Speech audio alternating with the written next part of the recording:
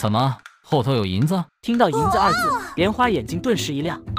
哪哪有银子？皇帝有些无言。朕如今可算明白了，小妃嫔是掉钱眼里的人，给他旁的都不如直接给他银子，让他高兴。莲花见皇帝不说话，忍不住又追问了一句：“呀，哪里有银子呀？”皇帝听得又好气又好笑。小财迷，得了银子也不见你如何花，怎还如此贪财？我存着有用吗？何况如今有爷在，也用不着我花什么银子呀。嗯，存着做什么？实在想不到这小妃嫔存着能有什么用。虽说银子越多越好，可她不花也没什么用。难不成要留着以后给孩子？提到这个，莲花神色忽地变得黯然起来，低下头，有些伤感道：“想给爹娘还债的呢。今日中秋团圆节，不知爹娘和哥哥他们如何了？好想他们呀！”皇帝醉意全退，脸上笑容消失，沉吟片刻后问道：“可否和朕说说你爹娘之事？你又是为何入宫？”皇帝声音中有丝不易察觉的紧张。莲花抬头。泪眼婆娑地说：“族叔说，爹娘欠了好多好多银子。”说完此话，想到那么多年都没见过他们了，莲花哇的大哭出声。他们带着哥哥走了，不要我了。此时，京中的一处院落，主房出来一个四十多岁的男子，他面带忧容，模样沧桑。见到来人，一名二十岁左右的年轻男子上前问道：“爹娘怎么样了？还是老样子。”哎，两人说着话。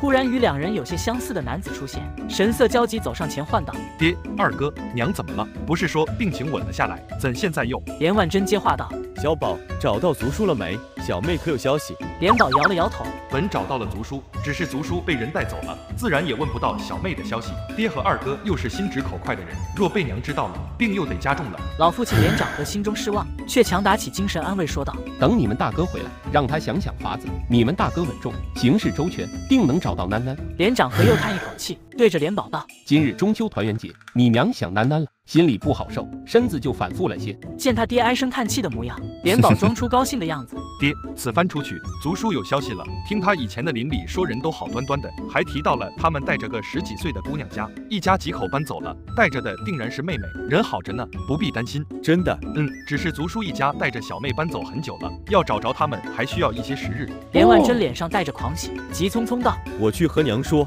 娘听了病就好了。见二儿子跑走，连长和也激动起来，嘴里念叨着：“这样爹就放心了。只要人没事便好，找些时日便找些时日，无妨无妨。”连宝嘴角含笑看着他爹，回头朝马叔深深的看了一眼。马叔眼下心头的伤感，会意的点点头：“出去看看，把首尾收拾干净，莫让人寻着这里。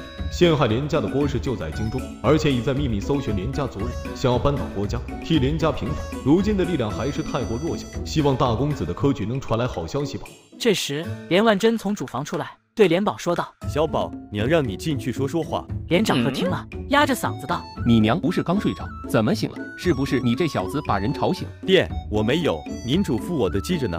我进门时推门声很轻，一进去就看到娘是醒着的。不信您问娘，我看看你们娘去，跟她说囡囡好着呢，让她别多想，一高兴兴许这病就好。说罢，连长和又看向连宝：“宝儿，你跟爹一起进去，把这好消息讲给你娘听。”莲宝闻言，深呼吸一口气，掀起嘴角露出个笑容：“哎，娘那么聪慧，若是被他察觉，可如何是好？”皇帝这边，思家心切的莲花哭了好一会，总算不哭了。爹，您说爹娘和哥哥他们还好吗？皇帝温柔的安慰道：“嗯，定然还好好的。”皇帝在听莲花说完后，总算明白过来。胡淼淼查到的人乃是莲花族叔，所以才与入宫典籍记载不符。听小妃嫔说，当初族叔送她入宫，是因为父母欠下巨债。可据胡淼淼查出的结果，他族叔享有产业，按照常理不该送他入宫才是。这其中恐怕另有隐情。莲花止住哭势，抬头望天说道：“万岁爷，你瞧天上的月亮，又大又圆，像我做的那个大月饼一般。”皇帝忧心莲花家世，却仍是笑着附和他：“你做的大月饼在哪？朕怎没见过？”一提到这个，莲花气哼哼道：“昨日做好，本想等爷晚上回来给您瞧来着，可您倒好，半夜三更才回，那还如何瞧嘛？”说完又忍不住嘟囔一句：“也不知是谁，不肯及时用膳。”嗯，也不知道是谁，半夜三更连夜罚了朕。莲花闻言顿时不吭声了。皇帝笑了笑，斟酌片刻后说道：“朕帮你找爹娘可好？”莲花听后惊喜出声：“万岁爷真的帮我找爹娘和哥哥吗？哎呀，会不会太麻烦了？”皇帝摇摇头：“不麻烦，你的事便是朕的事。”听到皇帝要帮自己找家人，莲花便想着拿出自己家底来答谢皇上。万岁爷，我们快些回去吧，我有东西给你呢。等回到苍兰院，莲花让皇帝先等等，自己则去了库房。期间，齐嬷嬷也好奇地走了进来。等莲花回来时，手里拖着一方盖着红布的托盘，见到嬷嬷也在，有些惊讶。哎呀，奶奶，你也在呢？哎，老奴来坐坐。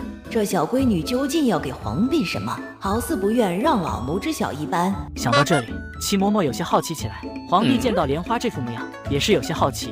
这小妃嫔送的莫不是难以见人的闺房之物？皇帝面色微红，正考虑是不是要让齐嬷嬷先退下，就听莲花说道：“万岁爷，您快来呀！”皇帝见事已至此，便上前将红布掀了去，只是下一刻就愣在了原地。怎么回事？怎么是这些恶毒？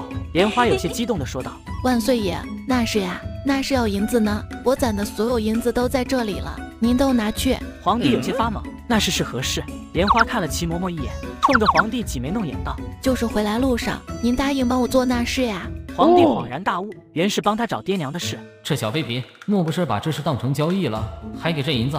朕缺你这点银子吗？皇帝脸色有些不悦，赌气般的不接话。齐嬷嬷在旁边听得皱起了眉头。皇帝究竟是要帮小闺女什么事？竟要小闺女的银子才能办成？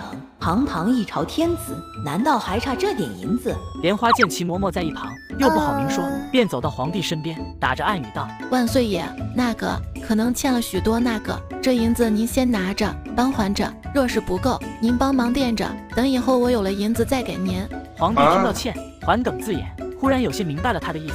原来小妃嫔是想用这银子给他爹娘还债，是朕想差了。皇帝弄懂了莲花意思。气顺了，刚要说什么，一旁齐嬷嬷却是冷哼一声。听了半晌，终于听明白了，这皇帝玩闹也没个度，讹钱都讹到小闺女头上了。皇帝见嬷嬷生气，还以为是莲花犯了错，帮着劝道：“齐嬷嬷，人非圣贤，孰能无过？何况今日中秋喜庆之日，不宜动怒。”齐嬷嬷见皇帝还在装模作样，再也忍不住了，非给小闺女出气不可，直接训斥道：“万岁爷，老奴本不想说出来，可你乃堂堂一国之君，竟还学会讹妃子银子了，真是好大的出息！”